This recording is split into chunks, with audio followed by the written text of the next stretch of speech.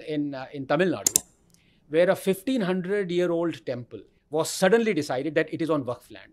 Hmm. Now you tell me, how can a 15 year, 1500 year old temple be on Islamic land when Islam is only 1300 years old? Agreed. So anybody can say they are in their uh, rights to declare any land as Waqf. Hmm. They can.